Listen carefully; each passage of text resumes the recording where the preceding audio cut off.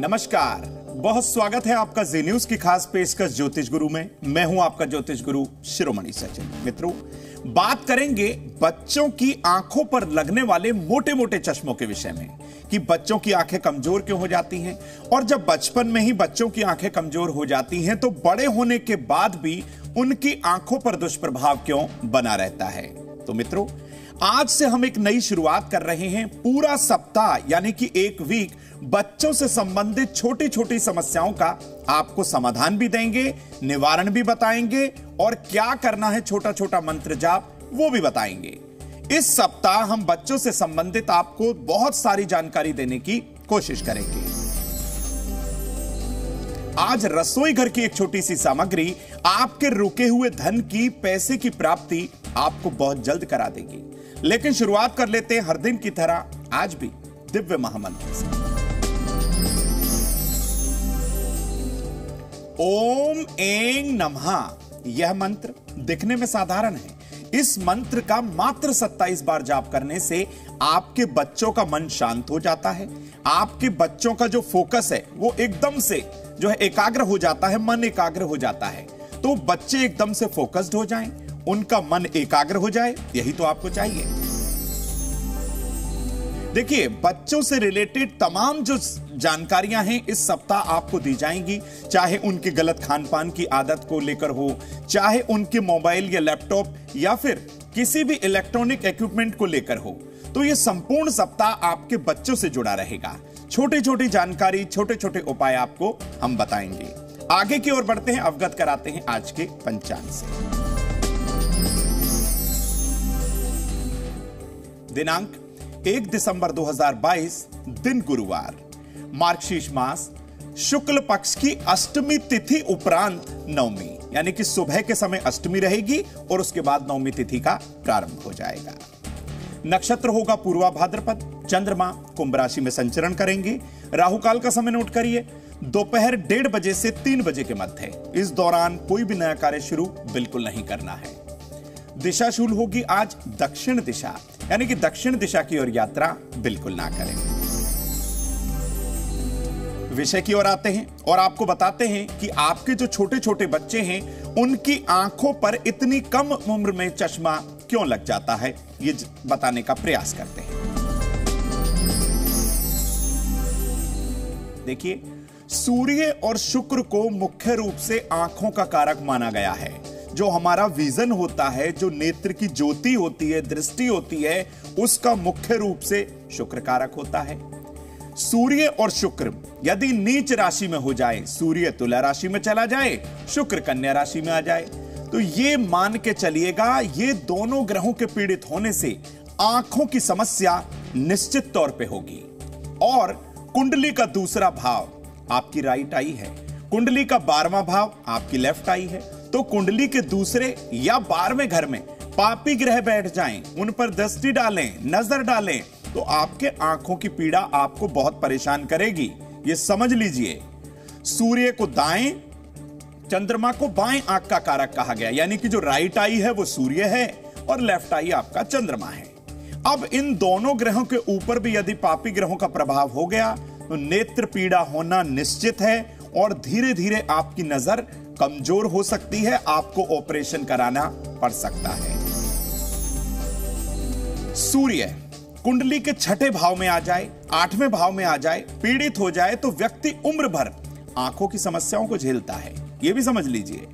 दूसरे या बारहवें घर में शनि और मंगल के कंजंक्शन हो जाए, युति हो जाए तो इन दोनों पापी ग्रहों का एक साथ में, यानी कि दूसरे घर, आपकी राइट आई में, बारहवा घर आपकी लेफ़्ट आई में। कहीं भी इन दोनों ग्रहों की युति हो गई तो मान के चलिए, हर तरीके से आपकी आँख पर चोट भी लग सकती है और नेत्र ज्योति भी कम हो जाएगी। तो भाई, ये छोटे छोटे ग्रहों की जो युति है ना, ये बहुत खतरनाक होती है, परेशान कर देती है। लेकिन आप अपने बच्चों की छोटी छोटी आदतों में सुधार कर दीजिए। आपको बताते हैं वो कौन सी आदतें हैं। सबसे पहले क्या करेंगे? सबसे पहले आप अपने बच्चों को कहें कि वो रात्रि में देर तक ना जागे। चंद्रमा पीड़ित होता है। और दूषित खान पान से उनको बचाइए। बाहर के खान पान से बचाइए। अक्सर आपके पास समय का अभाव होने के कारण आप ही कह देते हैं बच्चों से कि आप बाहर से खाना ऑर्डर कर दीजिए। तो ये बिल्कुल गलत है। संभव हो तो जंक फ़ूड से आपको बहुत ज़्यादा परहेज करना है। बचिए इससे। ज़्यादातर फल सब्जियों का सेवन करिए, फलों का जूस पीजिए, सब्ज़ी का जूस पीजिए, फलों को काटकर थोड़ा सा रख लीजिए, खा लीजिए। इस तरीके से छोटी छोटी आदतों में आप परिवर्तन ज़रूर लेकर आइए। रात का बासी खाना भूल कर भी ना आप खाएँ, ना अपने बच्चों को खिलाएँ। आजकल लोगों के पास समय का अभाव है। माता पिता बहुत जल्दी में होते हैं और रात्रि में ही भोजन तैयार करके रख देते हैं और सुबह जो है, वो टिफ़िन अपने बच्चे को पैक करके देते हैं। तो ये बिल्कुल गलत है। रात में अपने सिराने रखे हुए पानी का सेवन भूल कर भी ना करिए। यह नकारात्मकता से एकदम भर जाता है। इसे हटाइए। रात में अपने सिराने, मोबाइल, लैपटॉप या कोई भी इलेक्ट्रॉनिक सामान आपको अपने सिराने से हटा देना है, बिल्कुल नहीं रखना। ये ऐसा करना भी आपकी आँखों के लिए, आपकी सेहत के लिए बहुत अच्छा रहेगा। अपने सोने वाले कमरे में दीवारों का रंग हल्का ही रखिएगा। गहरे काले नीले रंग से परहेज करिए। आजकल बहुत लोग अपने कमरे में गहरा काला नीला रंग कला रहते हैं तो ये बिल्कुल नहीं करना है। हल्के ब्राइट या फिर व्हाइट रंग का आपको इस्तेमाल करना है। आइए जानते हैं मेष वृष मिथुन का हाल। मेष राशि, आपका दिन दोपहर के बाद अच्छा रहेगा। किसी भी ज़रूरी काम को निपटा लें। अपनी बात किसी पर ना थोपें। मीठी वस्तु का दान करें। शुभ रंग होगा पीला। वृषभ राशि। अपनी बात किसी से ज़बरदस्ती ना मनवाएँ। भाग्य आपका साथ ज़रूर देगा। रुके हुए कार्य पूरे होने का योग दिखाई दे रहा है। जरूरतमंद लोगों को वस्त्र का दान करें। शुभ रंग होगा आसमान। मिथुन राशि। किसी भी तरीके से झूठ का आपको सहारा नहीं लेना। वाहन बहुत सावधानी पूर्वक आप चलाइएगा। किसी की मदद दोपहर के बाद ज़रूर करें। आज के दिन पक्षियों को दाना ज़रूर खिलाएँ। शुभ रंग होगा गेरुआ। तो मित्रों, हमने आपको उन ग्रहों की युति से अवगत कराया, जिन ग्रहों की युति आपकी आँखों की समस्या को बढ़ा देती है, आँख पर चोट लगा देती है, और आपके बच्चों की आँखों पर मोटा चश्मा बहुत जल्द लग जाता है। ये तो हमने ग्रहों का योग बताया। और छोटी छोटी कुछ सावधानियाँ जो आपको बरतनी है, सावधानियाँ अपनानी है, वो भी आपको बता दिया। अब आँखों की समस्या को दूर करने का महा उपाय क्या है, जरा वो भी समझते हैं। प्रतिदिन सुबह के समय आपको जल्दी उठना है। एक तांबे के लोटे में शुद्ध जल भरें। जल में थोड़ी सी रोली, थोड़ा सा गुड़ और गुलाब के फूल की पत्तियाँ आपको डालनी हैं। अब दोनों हाथों से उगते हुए भगवान सूर्य नारायण को घृणी सूर्याय नम मंत्र का जाप करते हुए, बोलते हुए यह जलधारा आप अर्पित करेंगे। जल की जो धारा होगी, जब आप भगवान सूर्य को अर्पित करेंगे, उस जल की धारा में आपको एक चमक दिखाई देगी, एक शाइन दिखाई देगी। तो उस शाइन पर, उस चमक पर आपको ध्यान केंद्रित करना है। आसन पर खड़े होकर भगवान सूर्य नारायण की कम से कम तीन परिक्रमा करनी है और अपनी आँखों की समस्याओं को खत्म करने की प्रार्थना भी ज़रूर करें। किसी योग्य विद्वान की सलाह से आप सूर्य शांति पाठ पूजा ज़रूर करवा लीजिए और हो सके जो चाक्षुषी स्तोत्र का नियमित रूप से सुबह के समय किसी कुशा के या फिर लाल आसन पर बैठकर पाठ करें। नियमित तौर पर, नियमित रूप से बच्चों को आंवला, गाजर, खट्टे फल, सब्जियों का सेवन आपको ज़रूर कराना है। तो ये छोटी छोटी जो सावधानियाँ आप अपनाएँगे, आँखों की समस्या कम भी होगी और इसका ये इंपैक्ट और फ़र्क आएगा कि नंबर आपका ज़्यादा बढ़ेगा नहीं। तो इन छोटी छोटी आदतों को परिवर्तित करके, इन सावधानियों को अपना के आप पर और आपके बच्चों पर इतना फ़र्क ज़रूर आ जाएगा, इतना प्रभाव ज़रूर आ जाएगा कि उससे ज़्यादा नेत्र ज्योति कमज़ोर बिल्कुल नहीं होगी। आइए जानते हैं कर्क सिंह कन्या का हाल। कर्क राशि। मन की सारी इच्छाएँ पूरी होंगी। अपने खान पान का ध्यान रखें। करियर में बदलाव का योग बना हुआ है। जरूरतमंद लोगों को चावल का दान करें। शुभ रंग होगा लाल। सिंह राशि। अपने क्रोध पर नियंत्रण रखें। शाम तक समय आपके अनुकूल रहेगा। घर की उत्तर दिशा को बिल्कुल साफ़ रखिएगा। आज के दिन गुड़ का दान ज़रूर करें। शुभ रंग होगा मरून। कन्या राशि। नौकरी के लिए आवेदन ज़रूर करना है। शाम तक ज़रूरी काम जो भी है, आप निपटा लीजिए। मन की इच्छाएँ पूरी होंगी। जरूरतमंद लोगों को दवा का दान करें। शुभ रंग होगा जामुनी। मित्रों, अब आपके प्रश्नों का जवाब देते हैं। हर दिन आप अपने प्रश्न ज्योतिष गुरु की helpline number nine six four double three double three triple four पर जो साझा करते हैं, अब वो समय आ गया है कि उन प्रश्नों का जवाब दिया जाए। पहले दर्शक जुड़े हैं अनिकेत सिंह, मेरठ से। बहुत स्वागत है आपका।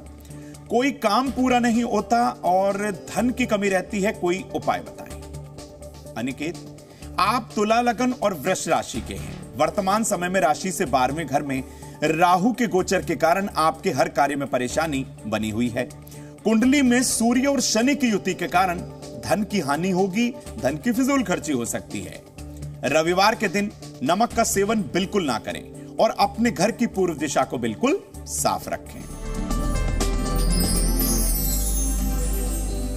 दूसरे दर्शक जुड़े हैं गीतेश शर्मा, आगरा से। मेरा भविष्य कैसा रहेगा, सरकारी नौकरी लगेगी या नहीं, कोई उपाय बताएँ। गीतेश?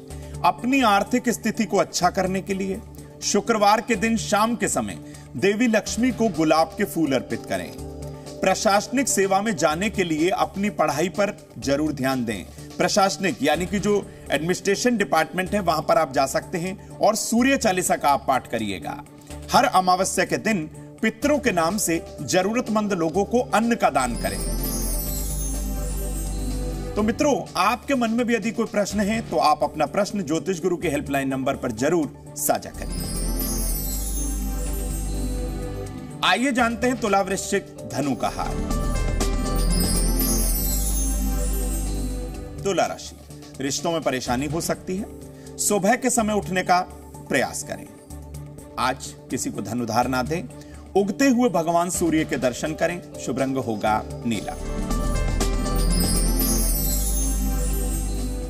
वृश्चिक राशि। उपहार मिलने का योग बना हुआ है। अपने बॉस से किसी भी बात पर वाद विवाद हो सकता है तो बचिएगा। उनसे किसी तरीके से ना उलझे। अपने निर्णय बहुत सोच समझ कर लें। सफ़ेद वस्तु का दान सर्वोत्तम होगा। शुभ रंग होगा लाल। धनुराशि। परिवार में खुशी का माहौल रहेगा। किसी मेहमान के आगमन का योग है। रुका हुआ धन मिलने का योग बना हुआ है। पीली वस्तु का दान जरूरतमंद लोगों को ज़रूर करें। शुभ रंग होगा नारंगी मित्रों, बात करते हैं उनकी, जिनका आज जन्मदिन है। तो जिन लोगों का आज जन्मदिन है, उन्हें ढेरों शुभकामना। ज्योतिष गुरु आपके उत्तम सुख समृद्धि की कामना ईश्वर से करते हैं। मित्रों, यह वर्ष आपके स्वास्थ्य, व्यापार और आजीविका के लिए उत्तम परिणाम लेकर आ रहा है। इस वर्ष की शुरुआत में ही खांसी जुकाम की समस्या आपको परेशान कर सकती है। तो बचिएगा। इस वर्ष निवेश किए हुए कार्यों से आपको लाभ ज़रूर होगा। धन, स्वास्थ्य और रोज़गार की बहुत सारी समस्याओं को खत्म करने के लिए सुबह के समय सूर्य चालीसा और सूर्य स्तोत्र का पाठ ज़रूर करें। तो जिन लोगों का आज जन्मदिन है, उन्हें ढेरों शुभकामनाएँ। आइए जानते हैं मकर कुंभ मीन का हाल। मकर राशि। अपने घर में समय बिताएँ तो बेहतर होगा।